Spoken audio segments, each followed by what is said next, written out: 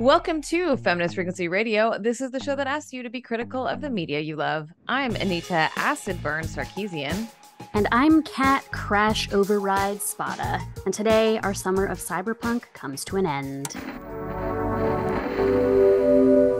Mr. Deckard, Dr. Eldon Tyrell. The new millennium. This is amazing. Will bring a new experience. How do you fit all that in your head anyway? I had to dump a chunk of long-term memory. This is gonna be fun, Terry. Who is this? Take this thing out of the case and stick it up your nose. Mozart's Ghost, the hottest band on the internet. So, what better time to harken back to the Hackers Manifesto from 1986, published in the e-zine Phrack? In part, the manifesto reads. And then it happened. A door opened to a world rushing through the phone line like heroin through an addict's veins. An electronic pulse is sent out. A refuge from the day to day incompetencies is sought. This is our world now the world of the electron and the switch, the beauty of the baud. To round out this season, the final film we are discussing is Hackers, of course, a 1995 crime thriller, I guess, from director Iain Softley. A crew of high school hackers led by Jonny Lee Miller and Angelina Jolie find themselves involved in a corporate conspiracy in this movie that has become a cult classic in the nearly three decades since its release. Its screenwriter Rafael Moreu said, To call hackers a counterculture makes it sound like they're a transitory thing. I think they're the next step in human evolution. He's about to commit the perfect computer crime. You've created a virus that's going to cause a worldwide disaster? And they're about to take the blame. A hacker planted the virus. but it's the perfect cover. We're being framed. Can we be allies? I don't play well with others. Oh, wow, we are fried. Okay, let's nail it. Now, You're not good enough to beat me. Yeah, maybe I'm not. But we are. they're the only ones who can prevent a catastrophe. I know how to stop this guy. They'll trace you like that. Are you nuts? Come at me! Unlike any the world has ever seen. Never send a boy to do a woman's job. Hackers of the world unite. Cops in the building. I need more time. This is the end, my friend. Joining us to discuss this film is an Emmy and Wendy's Employee of the Month winning television writer and producer who specializes in Montana hillbilly trauma comedy. She created the animated series Danger and Eggs and has worked on movies and television series, including Yo Gabba Gabba, Brightburn, 12 Forever, and Forever Alone. She is a writer on the long anticipated Netflix adaptation of The Sandman, which debuted this summer. Welcome to the show, Shadi Petosky. Thank you. I am so excited to have you on. I'm excited to be here. I I did watch this movie, so that's, that's all you got. Uh, I- no, I I love this movie. This is gonna be great. Um, What- you said that we're supposed to be critical, but I don't know if I can. I just like it so much. You don't have to be. You could just be like, this is the best thing that's ever been made It of the whole is entire so world. sweet. Yeah, I just love it. Um, have you seen this movie before? Oh yeah, of course. Yeah, Uh, classic. Yeah, I saw it when it came out. Kat, and have you seen the movie before? I'm shocked that I have not seen this What? movie until last night.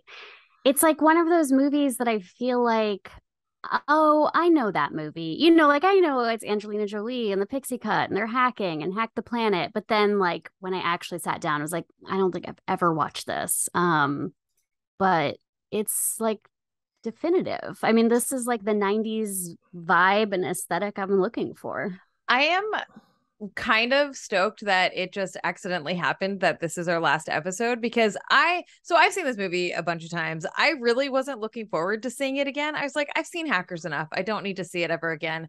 But as I was watching it, I was like, this is to me like the quintessential cyberpunk movie. Like it has all the aesthetic, all the story, all the elements that make cyberpunk what it is, like especially of like the 90s genre of cyberpunk. So I feel like it's a nice container for the season that we're doing. Yeah, and I've been hacking the planet for 20 years, so I haven't thought about it Yeah. until yeah. You've just 30 been years. doing 30 it. years? Oh, time time slips by. It's like being in a hacking the planet. It's like being in a casino. You just don't know what time it is. yeah. So um, you know, I I think on a previous episode I was talking about how there's like the cyberpunk movies where it's like technology is the worst and the bad and Mm. like techno fear. And then there's the ones where it's like, we are the activists who are going to save the day with our hacking skills. And like that is the the zone that this movie is in that I like I appreciate the we are just like misunderstood, but we're really good for you, you know? we're taking down the man. That's all I ever want. I don't ever want to see a killer robot or any computer thing being bad because none of us have had bad experiences with computers or digital culture or anything. Like I, I want it all. I'm like pro Google Glasses, and I get upset when people are anti anything. I just want it. I want it all to happen. I'm very much more in that hacker manifesto vibe of like let the information be free and let the stuff get made and you know it could be bad but i don't want it i don't want it to be bad i got So- really angry at that robot black mirror episode i'm like no those dogs those dogs are going to bring me lucky charms that's what those dogs are going to do and it's going to be great I lived in San Francisco when Google Glass was a thing, and I was fucking horrified. Like, I would see people on the subway wearing them, and I'd just immediately be like, Don't look at me. Don't look at my face. You're not allowed to see me with your fucking corporate advertising spyware. and so we start this podcast as enemies yeah. yeah. I mean, that's why I invited you, didn't you know? yeah i did I Um, will uh, bookend us by saying that Shadi missed out on the first movie we discussed this season, Johnny Mnemonic, in which a psychic dolphin uh, is responsible for like transmitting. I mean, not psychic, but who cares? Uh, transmitting information to the VCRs of the public. Incredible. I did watch johnny mnemonic in quarantine so i'm up to I'm so if we sorry. wanted to cover them all. I know. Well that's really like a cyberpunk movie that was trying because it's a william gibson movie so that's where they were really trying to be like cyberpunk whereas hackers is not like it's not it's not speculative fiction right? It's more like ethnographic or they wanted it to be? Like it's about 1995 and what was happening with the people at that time and what could maybe happen a little bit but mostly it was kind of about it's like to me it's like the same as a skateboarding movie or like empire Mm. records came out that year. So it's, it's just it's like oh you've got your record shop workers movie that have to save the record store and you've got your hackers movie and you've got gleaming the cube. To me it's like just those kind of movies and it's not like you know jg ballard william gibson yeah. It's not uh, like speculative fiction. Yeah. Yeah. yeah, and they weren't even trying to, to be really. I mean, they did visually. We can talk about that later, but to me, it's just a totally different movie. But it is a cyberpunk. Well, yeah. I mean, let's get into the visuals. I like. I find so much joy in the visuals of this movie. I think, and again, I think it is like part for me, part of what I'm like, why I think this is quintessential cyberpunk. Like the reflection of code on their faces while they're like sitting at their computers. I was like, yes, please. The fucking, um, just the like the hacking sequences that are way too long, where it's just like Jonny Lee, Jonny. Jonny Lee Miller spinning around with like in the digital sphere, and you're like, I'm in the computer. the spinning was the best. It was the best spinning, and uh, Twilight later had spinning as well. But this Twilight movie, has Twilight has some calendar spinning, but like this movie, Oh, the right. the um the the phone booth spinning was amazing. Like I I don't know. Had, I, this movie may have invented spinning.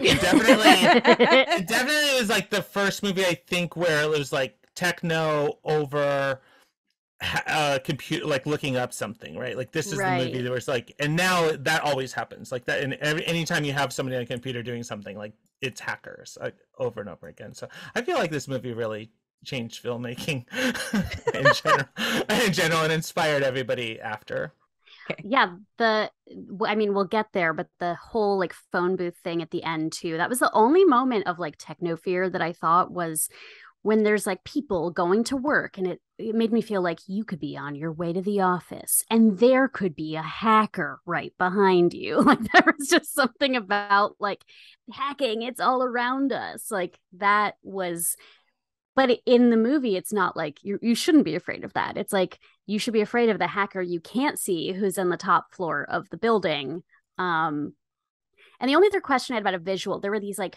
cubes of code i guess that were supposed to be like servers or something. Yeah.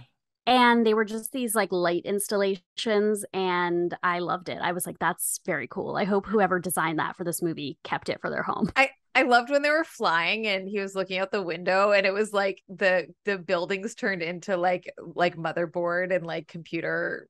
That was beautiful. I was like, Yeah, this is so how he good. sees the world, man. it's it's so good, and all that stuff is like practical, right? So the that's kind of famous for like they didn't use like the lawnmower man or the Johnny Mnemonic CG stuff. They just built little models and built all that stuff in the old school way. So that stuff it could be in somebody's living room, right? Because it all exists, which is just so amazing. Because it felt like with that stuff and the you know they did all the movie flashback stuff um when he was sort of hyper focused or whatever he's thinking about classic films and things it, Mm. i worked on yo gabba gabba for 75 episodes so it felt a lot like that to me where it was just like artists just doing whatever they could get done as cheap as possible and you know somebody tried this one and you just assigned a bunch of artists and i think it was that and then like um it was just all these independent special effects people doing what they could do with no money and then they formed like a huge vfx company after that like it, it seems very artist e- everything about this movie is just like a bunch of artists throwing what they have at the wall which is amazing. And I think that's really part of the hacker reality in the mid 90s too is that like I mean I kind of know this like from cultural osmosis but watching it where I'm like yeah it was a lot more analog at the time. Like hacking started with holding a tape recorder up to a payphone. Like that is hacking and it feels so like wait no that's not hacking. That's not like having to understand how to break down code. It's like but yeah it is and it started that way. I mean, there's obviously, uh, it's delightful for me, especially never having seen this movie before, to see like Jonny Lee Miller stashing his like floppy disks in his pants and stuff. But like, I mean, what's the difference between that and like uh, an external hard drive? It just holds a lot more, but it's the same like physical digital overlap. I will say that they all used Apple computers, which you were no one was hacking on an Apple. And I No, think it's that's really funny because like, you know, you'd be using like Linux, like or you'd be like typing into code on like DOS commands and stuff. But because Apple was the visual UI at the time, uh, I think that it was probably more appealing from a filmmaking perspective because you could like see windows opening and shit like that, Mm. even though that wasn't at all what you would ever be hacking on at that moment in in history. that was super weird it's just what you used at school um, Yeah. but yeah the Um, hackers are like click the hack button on apple tvs or whatever Okay, so the movie starts in Seattle 1988 where a Mr. Zero Cool who is like a fucking infant uh took down uh 1508 I don't fucking remember the number. Seven. Sis- seven. 1507.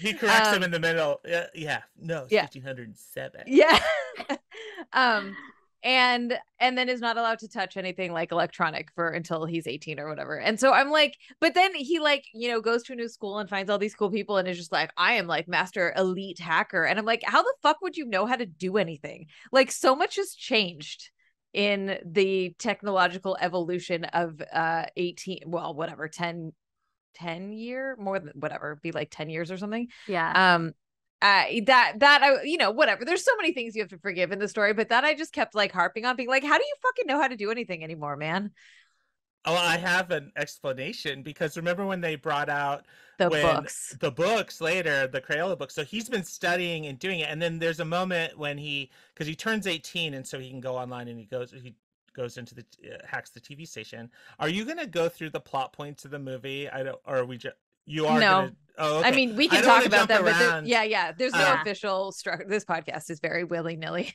and his mom who's awesome she's the best mom but she says like you connected to the phone line so she freaks out because he connected to the phone line so he- so he's been using a computer this whole time he just hasn't connected it until his 18th birthday so i think he's been like itching itching Yeah. to go yeah He's- raring Only gaming on CD-ROMs, I guess. Like Yeah. everything's I- I loved that scene where he calls the security guard and is like, Mr. Eddie Vedder from accounting, the BLT drive, and da da da. And like, I love that it was so obvious that even if you don't know anything about computers, you're like, I know those references. That's funny. that's eh, that's like the big geek the it dilbert he although dilbert did not does not still hold up but that was the whole thing like the CD-ROM is the cup holder or the weird right. like it's the that's the biggest joke. But yeah, I remember when he said this is Eddie Vedder, and I was just like screaming when yeah, in the nineties. Like, it was so like funny. he's so cool, you guys, and he tricked. Oh my god, yeah, and that's like, uh, well, that's the great thing because that's like social engineering, right? Which is how a lot of hacking is done. And so, uh, it you know that the movie's great because it shows that it shows dumpster diving, it shows all this like infiltration stuff, and it sh- it show it really is like this is how hacking is done is like those tricky phone calls and stuff, and not just you know people typing in yeah code or I, whatever. I think one of the things that's uh a little disappointing to me is that it's like hacker versus hacker uh Mm. instead like the corporation isn't evil it's just this one guy in the corporation that's evil um which you know whatever that makes a fine story but i love a i love a takedown corporation story and so it was like you know whoever this company was uh wasn't a bad company it was just this one guy who was like embezzling money from them that was like i'm gonna sink tankers and kill all of these people and you're like damn dude that's like bad right. You think that the bad guy is the guy from The Wire and then the FBI agent. And then it turns out it's it was Fisher Stevens and Lorraine Bracco all along. And I know uh, I'm jumping straight to the end, but the scene where Lorraine Bracco is that Lorraine Bracco, right? From The Sopranos? His girlfriend, the like Is that what she's? Is I recognize her, but I couldn't. I don't remember her name. Anyway, Yeah, she's just slept with Fisher Stevens in his like metal origami bed. And what the fuck that bed? I was like, that looks so uncomfortable. she sees like Matthew Lillard on the TV and then she's like, "Oh my god." And immediately I was like, "Oh shit, Fisher Stevens hacked his way out of that bedroom instantly. He is gone. He's got himself to the wig store. He is ready to get to the Grand Caymans or whatever." Um there was I mean this movie's hilarious. I think on purpose, right? Like most of it I didn't feel like eh, when I was laughing, most of the time I felt like I was laughing with the movie, not at the movie. So Yeah, it's essential to know that that's a comedy, right? Like I've seen Yeah. other people talk about hackers as if it's just corny, but everything was so it was all intentional jokes and it's a really cartoony movie like the way they cut and then they pop in with jokes all the time. But it is an anti-cop movie. Like it's not uh all you know like um the Secret Service are the bad guys so they do take them down too sort of but they're but they're doing the bidding of the corporation Mhm. so it's yeah, kind and of they a- do they do make fun of like the movie makes fun of him too, right? Having him be like, and and the press you called are here, sir, and then him saying the same thing over and over again about hackers being evil, and you're like, ah, you're a wanker. They're gonna get you. Yes, I Um, love I love that part about it. But to your point about it not being hacker versus hacker, it would have been better if it was like the corporation abusing some poor hacker versus hacker. But but then I'm gonna step back. What I was saying is like, okay, so if we accept that it is a hacker versus hacker story, which I suppose we have to if we want to remain rooted in this current reality, um, then like it is kind of cool to be like, who is better? You know, like it like the the hacker off between uh Angelina Jolie and Dade, I thought was fucking delightful. Like the So sort of cool. prepping for it and like seeing who can outwit each other. Like I loved, I loved that. It was so geeky and nerdy and like I, I you know, so the I think that that little microcosm of the hacker off is like the larger uh casing of the movie right is like Yeah. and and are and who's using hacking for good and who's using it for bad you know like you have razor and blade that come in that are like the most elite uh the most performative that are like hacking is more than just a crime it's a survival trait right uh and like they're like let's bring everyone together and like take down this bad guy with the collective right with a with a collective of pe- of hackers who are all in it to beat a family or whatever and yeah, I'm I'm into the relationships, like uh, the whole little crew in the high school. First of all, like the the fact that you hear the kid who wears the little kitten t-shirt and he's like calling his family in Venezuela, like he's kind of your way into this group. Matthew Lillard, like it does feel really lived in that like he would be crashing on this guy's couch and that Angelina Jolie's family, like she her mom's a self-help writer and then she has all this money. But it was like I actually I really wished I'd seen this when I was younger because I loved um the way that their relationship was like they were both kind of horny for each other. There was the little bet that didn't feel like a gross exploitative bet as usually does in 90s teen movies. Um, I, I would say it was still kind of gross, but not as bad as some of the other ones. bad. All every time we're watching 90s movies, I'm picking crumbs. I'm like, Yeah, I know, I know. Give me a Well, morsel okay. of respect. so so a couple of things one as a teenage queer when like you know ish when this came out like every angelina jolie movie at that time was we were all watching as much as we could of it so like you had uh foxfire um you had um I don't know. Gia came out a Gia, little bit later, like, and it was just like she was just like the queer idol for for a lot of people at the time. Uh, I looking at her now, I'm like, you look like shit in this whole movie. That haircut is the fucking worst.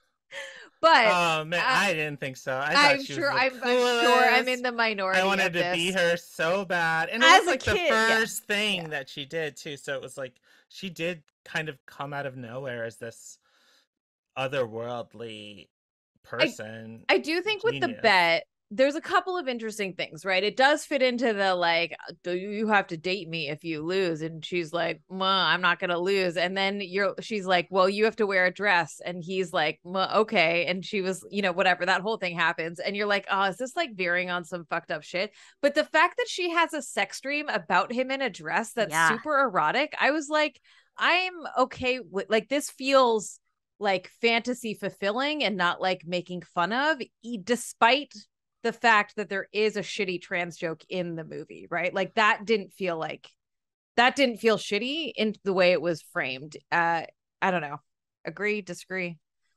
I it felt I mean it like it felt like it was definitely written by a dude, a straight dude Yeah. with like the battle of the sexes. Mhm. like argumentative like we don't like each other we're just gonna win like i guess that's like a straight relationship is just hating each other and uh, you know hating each other until one of you pins the other or exhausts the other or whatever. And the really like you know it, it, again we're jumping to the end but like he doesn't win but the dudes just vote for him so that he can have the date. Like it's all Right. it's not great. Uh, but, but i did love uh, the part her having the dream did feel like kind of the feminist moment where he's like oh he's gonna give her the dream too and then it was like oh they're hot for each other and this is all okay Yeah. Yeah. And so the And- date does would have happened one way or another at that point, even if it was yeah like set up in those. Yeah. And What I do you- definitely was hoping for a tie. I thought they were going to both show up to the date at the end in like pleather dresses. I was fully expecting that and was definitely disappointed that it wasn't. that's a better case. movie for sure Yeah. although Yeah. what he's wearing is fun Yeah. like you know it's a little I mean, the fact that the whole credit sequence is them just fucking in a pool, I was like, oh, right, I forgot about this. Okay. Like, it's moment- literally just goes on and on, and you're like, okay, this The movie's moment very after- horny. her sex dream when she opens up her locker. Never forget we're in high school. She opens up her locker and there's like a little, you know, Fredericks of Hollywood thing inside. And she's like, I'm ready for our date if you are. And he gives her this look like, I'm I'm gonna win. I'm not gonna wear that. And I thought like, oh no, he definitely bought his like one-legged red holster that matches his pager in the men's section. Like let's not let's be clear about uh crash override here. Um I thought she looked incredible. I was definitely watching this like I could pull off those little bangs, which I could not. Um, but I'd love to like hold this movie up against any number of nepotism babies like first films that they're in when they're a teenager and you're like, "Oh, so and so's kid is going to be in a movie. This is going to be crappy." And then you end up with the occasional Angelina Jolie out of it. I, as I was watching it, I couldn't reconcile Jonny Lee Miller as Crash Override and Jonny Lee Miller as Sherlock Holmes. Like I, lo- longtime listeners of the podcast know that me and Ebony fucking loved Elementary, and like I just, I kept being like, it was like a a tear was happening in my brain trying to remedy the fact that these are both the same human beings, and I don't know why that was so hard for me. But I, yeah, it was just, it was such a well people, grow up change and play different Yeah, roles yeah. and like it's but just they're both so quintessential in my mind as like distinct separate separate roles i don't know I've always just He's seen hot. Trainspotting with him. yeah Oh, which is completely right. different too Totally right different. like that's a wild one no he's One- a, he's a little chameleon Um, One other, yeah, that's true. Actually, I I would totally agree with that. One other little fun fact is that um the game that they're playing in the arcade is like a CGI version of Wipeout that had not come out yet, I believe, or was like coming out that year that they made specifically for the Oh. movie. And I love the high score action sequence where it's like stomp the names are like stomping on each other's names. I was like, man, I wish video games really had that kind of dramatic high score mechanism. Just such an aggressive fuck you high score. And just like Yeah. that arcade, I was like, man, I wish I had cool places like that to hang out in as a teenager. Yeah. Perfect. It's so good. It didn't exist. I don't know if you know. that was just for the movie. That was very much like the uh, the aspirational thing. But that's kind of how because we've been talking about the costumes. Like this movie, all of it, like hackers suck, right? Like like uh so it talked about the the costume designer talked about um going to a hacker convention to get like inspiration and figure it out, but everybody was just wearing black and so boring. Yeah. yeah.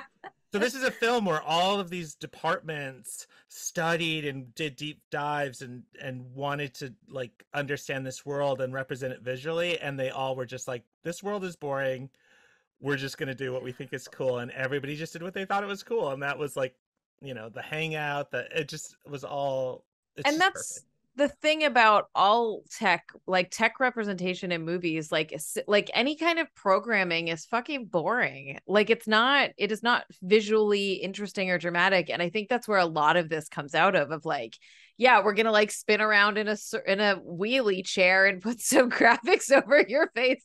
And like there's so many pans of like the fingers typing up to the apple logo up to the computer screen and then cut and then like that again and again. And so like making tech visual i think is a part of what's the cyberpunk genre like brought into this space. And then making them be like cool and counterculture which you know you're like is not most of the programmers i know wear like t-shirts they got from video game conventions or like their workplaces and jeans you know like they're not stereotype i realize i'm saying that but like it's it's not the most fashionable bunch of people Not an all white one one piece unitard. so good so good. All right. So I want to ask you all about something I read about when researching this movie, which was I'm pretty sure this was just a marketing ploy, but I still don't have the answer, which is the uh, MGM United Artists website for the movie Hackers, which was allegedly hacked by a group called the Internet Liberation Front. Um, and then it was like stayed up throughout the run of the movie being in theaters as an altered site. And uh, don't worry, I have it for you. There's no um, there's no Oh, are you going to show audio it? Are you gonna screen here. share it? just so you can see the hacking of this movie poster that's done for our listeners. It's like an MS Paint style doodling over Angelina Jolie and Jonny Lee Miller. And Oh my god, this text. yeah, uh, it says this is going to be a lame, cheesy promotional site for a movie. Um, that's uh, yeah, that's it. And then it's like, don't watch this movie. Instead, you should check out real hacker sites or or read Phrack magazine, which is like the the uh e magazine for frackers for frackers for hackers. um, fra- RuPaul Weekly is the Wait. is the magazine for frackers. Um, yeah. Uh, knowledge isn't free. Don't hack the planet. Don't see hackers. It sucks. Buy Teach Yourself C in 21 days instead. Rafael Moreu, screenwriter, must Man, die. this would be such a good marketing scheme. it Yeah, must I'm, be. I'm sure it was. I, I know Yeah. this story, and, and but they left it up. And Yeah. they Yeah. could have they could have done it. But also, were there movie websites a lot in 1995? I feel like no. Probably not a lot, but I think they were. I mean, the Space Jam website that's iconic um was probably what 96 Okay. Um which if you haven't seen that we should also link that in the show notes um but yeah i just thought that was Yeah, this just feels like somebody's like, let's have the hi- site be hacked. Yeah. Yeah. Because I mean, it is offensive. Like it is pretty offensive. But also, eh, like having them link to like actual hacker stuff, if those links are actually active, I think is kind of cool. If it's just a marketing blitz, you know. yeah. And Unle- I noticed unless that the community didn't want that, then not cool. But in the credits of the movie, uh, they thank the writer of the Hacker Manifesto and include his email address. Oh Mentor at God. blankenship.com is in the credits. I I don't know. I didn't think there was going to be a stinger or something. I just like let the credits play to the end and I was shocked just to see like an an at email address in the movie credits. I wonder how many people watch this and were like at you know, dear mentor at blankenship.com. I want to learn how to hack the planet. Yeah. wild, wild. Sucks for him. That would have been annoying, probably. or Or or they loved it. Uh, who knows? Yeah, that's Um, true. the last thing I just like wanna- He oh. likes attention. Probably. Yeah. I feel like you've got it if to write a manifesto, right? Right. Yeah. Um, it's an attention getting thing usually. Yeah, You shoot yeah, somebody, you blow somebody up. It's all. It's, yeah, yeah. You write a manifesto. It's all the same. I've written Um, a few. My therapist just says to delete them before the meeting. Um, the last, the last like sort of representational thing I want to point out is that this is a movie of like the one hot cool hacker chick lady, Mm, right? Like that. This is a recurring theme that when women do get included in these stories, they get to be like like one of the guys and there are no other women as competition and they are also like a love interest typically in some some capacity so this definitely fits squarely into that trope Oh yeah. And Yeah. maybe helped invent it a little bit. Well, I don't know. These that's probably been in 70s motorcycle movies or whatever. Right, yeah right, right. probably it's uh it's all that. She, you know, she's not fixing the engine, but she's hacking. I guess she is fixing the engine. Um, how would you react if your date uh, lit up a bunch of building windows to Love. have your names? love I wouldn't I don't think anybody would react like her because that laugh was ridiculous. like the joy that she expressed was so confusing. It's it like just went on and on and on. because it's like, look, three weeks ago, you guys managed to get to the antenna towers on top of the Empire Still State Building. Lighting So up cool. some office building windows ain't nothing compared to that. i love the lighting up of the windows uh so much um i just i would love that i think that shit's so much fun uh but i like immersive installation shit like that uh one one thing that i this is so stupid uh he's like and if you go on a date with me you have to smile and then literally Yeah. the next scene she's like laughing and smiling and you're like huh cool Mm. great like doesn't matter things that i notice whatever Yeah. I'll wear a dress. Yeah, this movie's you know be Pretty- you know it's like street harassment in yeah. in a movie uh not in a movie whatever okay everybody i'm I mean, gonna stop talking Well, no, but it is. Yeah, it's it it is exactly that. It's very '90s. It's very today. It's very all time. And so, I- and I I don't like like people will talk about it as being this kind of like gender free and gender queer movie because there's sort of some color on the clothes. But to me, like like aside from like the Vivienne Westwood mashup of all the clothes. Like all the clothes are super utilitarian. It's all Hmm. like work clothes or motorcycle jackets or like military MOLLE bag type things um except for Ange- angelina has the the surfer rash guard but that's like that's still very utilitarian. So except for the dress at the end it's all like really like mask utility piled on of more mask utility. So to me it's like this isn't even like what are we this is not gender queer this is not like this is just a very like mask fashion it's the same thing as like what you know like the sex pistols you know it's just like right. you know uh because it's it's punk and he was like trying to do that vivienne westwood thing with the the mashups and stuff but it's like everything he chose was utility and nothing was femme or ornamental or like additive really except for like i guess um cereal s- for pigtails or something Yeah. I was hoping that we'd get that we'd come to Matthew Lillard serial serial killer. Um Get it? spelled Fruit the way you're thinking. And uh he was by the way a delight. I was I loved it. I loved him in this movie. this is the first movie I ever saw him in, and it was like this is the greatest person ever. Like it was he was amazing. He's so Yeah. amazing. And then he became he became eh, Matthew Lillard, but it was just like yeah, he want who doesn't want to be friends? I don't know now if you want to be friends with Matthew Lillard. He might um ask for You a never- lot of rides. Uh to the airport. but like, you know, yeah, it's like so cool. He's so cool.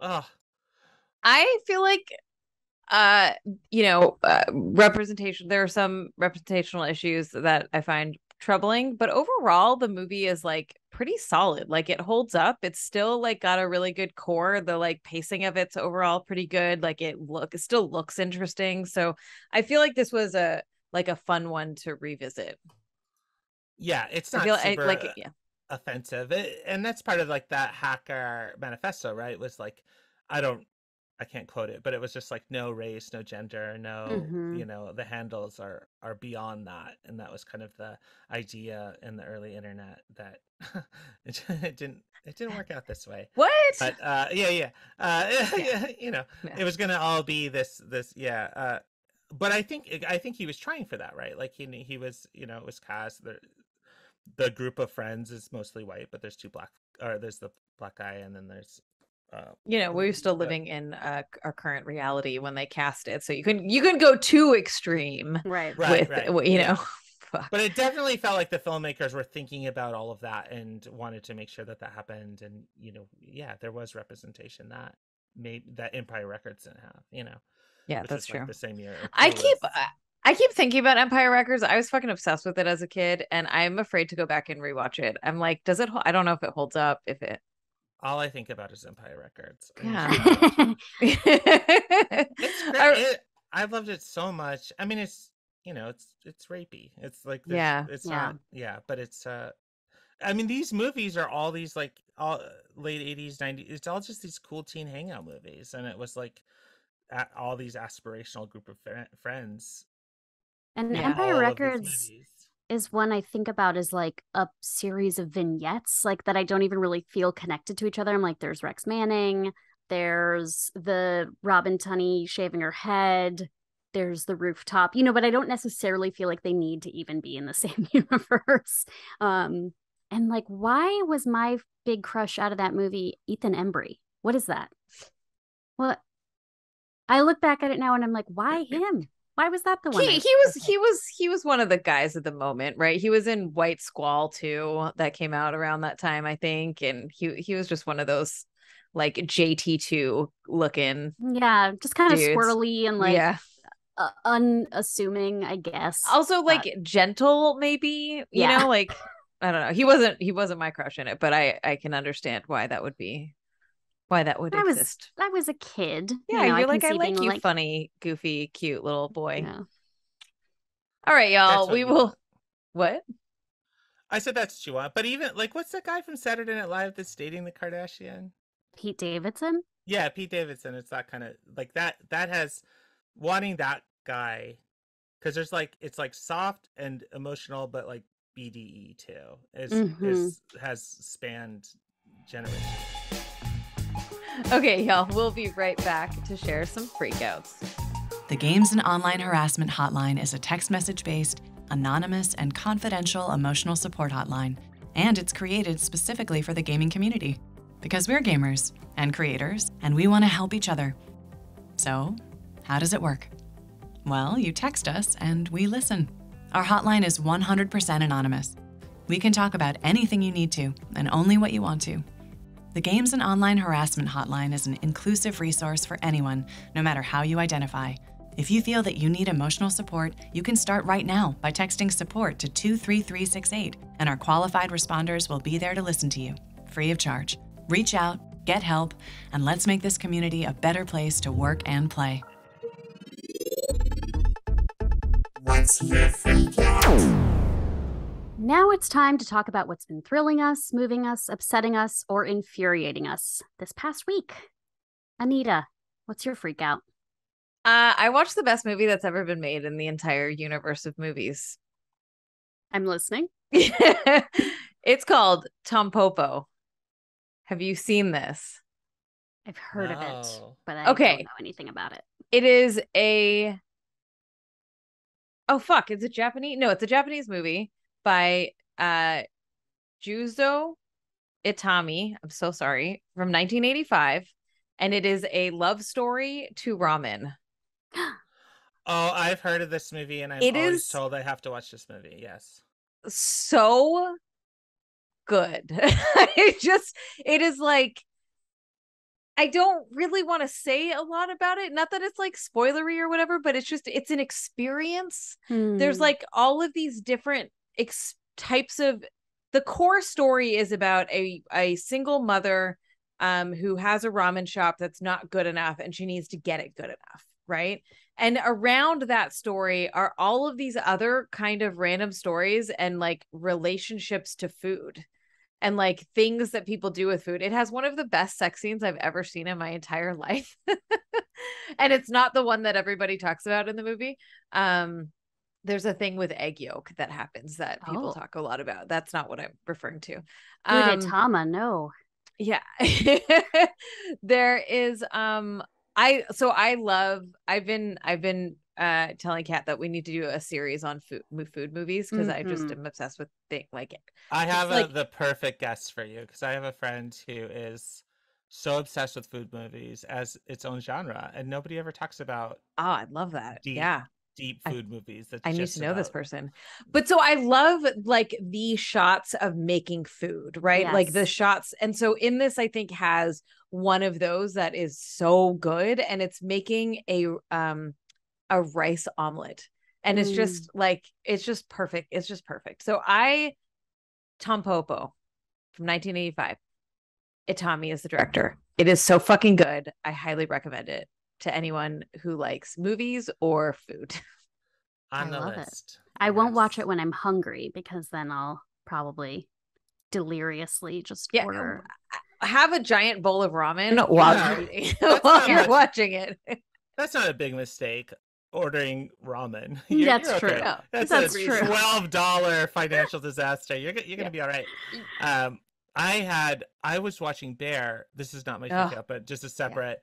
We the, love. the financial. thing. Love. Yeah, but I watched it like, and I I loved it too. I mean, like my brother committed suicide last month, so it was just like watching this movie was the most bizarre. That's a lot. Wow. Yeah, it was a lot, but it was perfect. And it's one of those things where like Mm. I've always, you know, whenever anybody like at a convention or something will be like, "Oh, this show changed my life," or "This this movie got me through a hard time." I'm like, "You're just thinking of something that you want to say to like, Hmm. you know, what whoever."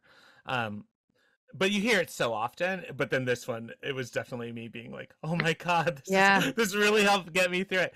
Uh my point was I it was maybe 2 a.m. and I just wanted so badly while watching that movie like a really rich broth, some kind Mm. of sticky broth, and I like searched all the apps to find a place that was open, and one Korean place was open. And I ended up ordering uh, the pork neck stew, and it was like thirty dollars, and it was a whole pig spine when it arrived. Uh, and the broth wasn't quite right, but that was that was the thing where I'm like, I just wanted this broth, and all I could find was a pig spine. 30 35 dollars You know. pig spine stew. Yeah, I deleted DoorDash after that. I'm done. It's got Sure.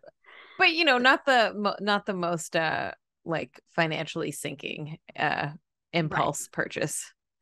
Well, as a binge eater, I've I do it a lot. Oh.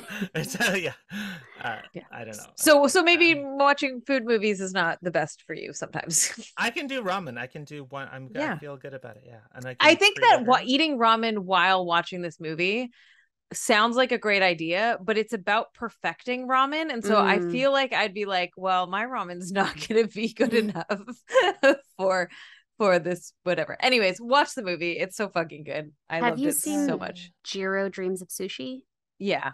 Yeah, I mean that whole part where he was like an apprentice needs to work on the egg like alone for a year before we'll even talk to them about rice. You know, and I was like, yeah, that's what it takes. Um so Shadi, was your freak out the pig spine uh or did you I have lo- another if, freak out? if you have watch a pig spine.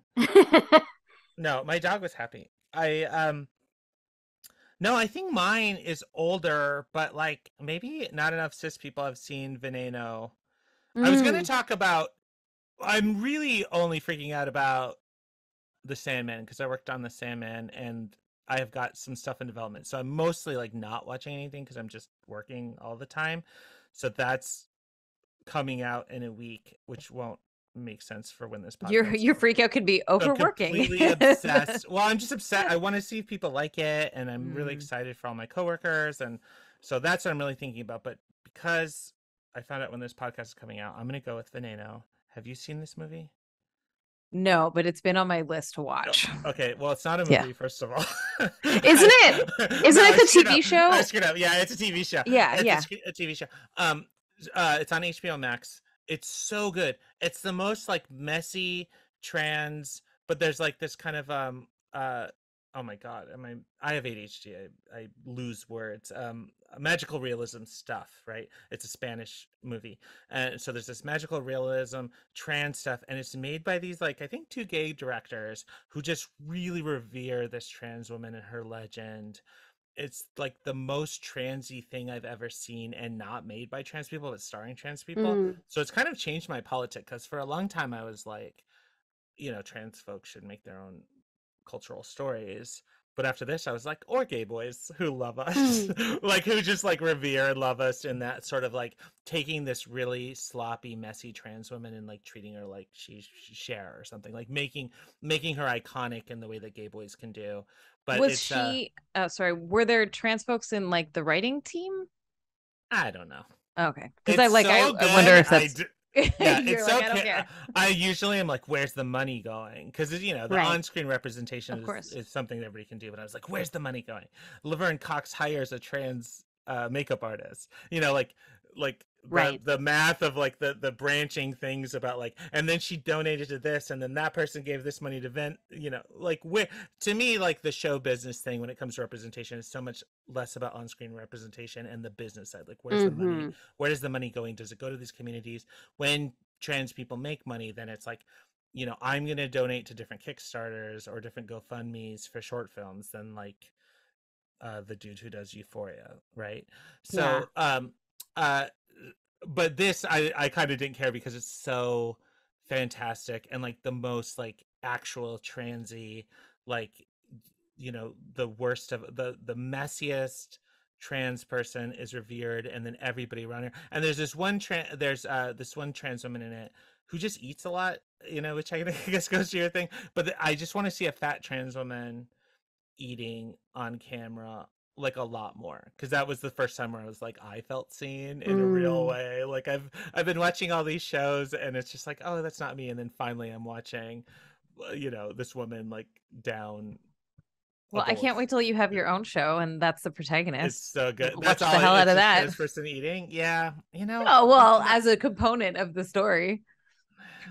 might be a hard sell i don't know if you you know the business is tough Yeah, that's Yeah. true. And I'm gonna have to watch this. I saw uh, Daniela Santiago, the actress from this, in uh, Parallel Mothers, Almodovar's long, complicated history of trans women portrayed in his movies. Um, but she just was in like a scene. So, um, Veneno, a lot to watch. so so great Yeah.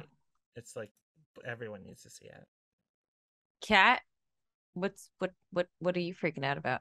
So I think that Ingu on our Blade Runner episode mentioned the show Angelyne on Peacock, and I finally watched all five episodes. Angelyne was a fixture growing up in LA in the 90s, um, seeing her billboards, seeing sightings of Angelyne and her pink Corvette and everything was uh, just a non negotiable part of um, the landscape of Los Angeles. Um, and I've always been really hesitant to read like exposés about her because they've come up a little bit in the last 10, 15 years. And my feeling was always like, as far as I can tell, she's not hurting anybody and she doesn't want any one of us to know what the backstory is. So I was a little nervous about watching the show, but I did start it. And Emmy Rossum's performance was so good that I couldn't stop. And I'm relieved to say that by the end of the movie, my at least my feeling as a viewer was that like, yes, we took a voyeuristic peek behind the curtain. We saw what could be presented as an objective reality of the person who was born and where where were they born? What was their name? How did they grow up? And we also are given angelyne's reality. And at the end of the show i felt like i can comfortably let both of these realities coexist in my mind. Um if she is all artifice if she is a billboard queen alien from fairyland i love it. Like that then yes that's true. That is also true. Um and whether or not there was a child of holocaust survivors who moved to los angeles and became the angelyne that we know is also part of that truth and so it was like a really interesting um i mean fantastic performances uh really impressive like makeup um they do show people across decades. So there's like a lot of aging makeup that was, you know, that if that's bad, you're taken right out of it. Um, but yeah, I was kind of blown away by it actually. I, I couldn't imagine that I would see something that would satisfy like the Angelyne story. And I will dis- put a disclaimer that I have not um, I have not read like if Angelyne has given a statement about this particular series. She's been partially involved in different pieces of storytelling about her life over the years. Um, but I don't know if this is like a situation where she's completely condemned the show. I should have looked that up before freaking out about it, but that's where I'm at. Yeah, I feel like a lot of the shows that have come out lately about people like of, of various states of fame are like fuck this shit. Fuck the way we've been represented and dramatized. Yeah, pam and tommy. Uh-huh. Yeah i was definitely thinking about pam and tommy in the like re-traumatizing sense of it um i think that this show i mean maybe it is a little bit of that magical realism that uh the spanish love but like there's there are enough ways where it's like this is the story as we're telling you it is but whether or not this thing actually happened. Like, so, you know, there's like little artistic flourishes where you might see like 1984 or something as a title card. Um, that probably five years later. I, Tonya, right? Where there's a lot of like, yeah. are, is this true? Is this not true? Is this a lie? Is this not a lie as a part of the storytelling? And is the is there such a thing as an objective truth or reality? I mean, that's like the big question about our our world and yeah. Our, you know life but like uh is there such a thing as an objective truth or is is the memory of what happened the way you think it happened the truth that matters i i think what's i think that that these are all great academic questions to ask uh i i think the problem is that hollywood just exploits everybody right yeah. and so like that so like yeah there's interesting ways to like tell these stories and consent is questionable in a lot of like the way they got Pam and Tommy was because they they optioned a fucking article about right. the story, right? Yeah. Like they didn't get Pamela Anderson's life rights as a, a way to tell the story. So I um, think that's what happened here too. They optioned a Hollywood Reporter article. That's yeah. definitely what they're doing across the board. You're very healthy, Kat, by the way, mentally to be able to handle the the conflicting. So I couldn't watch it for that reason, and she did condemn yeah. it because it is it is weird how many of these things are coming out. But even like Winning Time, which is this amazing. Have you mm. been watching Winning Time on HBO? I, yes, it's fantastic. It's so good. It's so it's like such good filmmaking. It's like it's perfect. It's beautiful. It's great. And I like that. I'm not even a sports person, but I love sports movies, and this is kind of a perfect one. But they really have no. They're just like really willy nilly. Like it. Uh, they totally. like they change the scores of the games. They change the outcomes of games for mm. like effect. Like it's really just like eh. Not. It's weird how untrue all this stuff was. Or inventing Anna too was one where it's just like these disclaimers don't seem like enough. I, I, the, the, folks involved in this stuff should get a little a little more i think probably. I went to a a dem uh like a a lecture given by a um a lawyer for a big film studio where she talked to like specifically talked about based on a true story. Oh yeah yeah. And that's how just... easy it is to just massage that language a little bit. And that's where you have those like creatively done things where it's like based on a true lie or um the Coen brothers saying something that's based on a true story that wasn't. Um, but then where you just say like inspired by real events or like all of those things that you can say that just legally cover your ass but aren't necessarily ethical. Um That's wild. Yeah. It's so weird. Yeah. Uh, I hope nobody, well, nobody's interested in stealing my life, but like, it just, I, it's I will. creepy. I But, will uh, save my future comments for the bonus because Okay. I have thoughts about this in terms of optioning life stories. oh man. I feel like I'm gonna- Oh, yeah, yeah, yeah. I suppose you do. I feel like I'm going to be up late tonight, like really uh, dark night of the soul, thinking about how I spent five hours with the Angelyne show. But you know what? Here's where we are. This is our show for today. This has been the season of Cyberpunk, a Cyberpunk summer recording. I'm sweating my butt off. It's great. I'm so sweaty. Shadi, thank you so much for joining us. Where can people you. find you on the I- internet? I'm just Shadi Petosky on everything. and uh they can they can stream lots of your creative work Yeah, watch Ginger Nix. It's a good show. I'm Anita Sarkeesian, and you can find me at Anita Sarkeesian on Twitter and Instagram. i'm kat spada you can find me at cat underscore ex underscore machina on twitter. And you can follow feminist frequency at femfreq.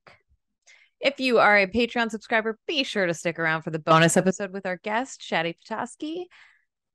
if you like this show please help other people find it. Subscribe rate comment and stick around because we're going to be back next season after a wee break Thanks so much for listening. This ending is such a we don't know how to do this. We have in our script both, a- and then it, we just it just happens. Yeah, but yeah. um, We will know. get our shit together for you all next season. Okay, bye. Bye.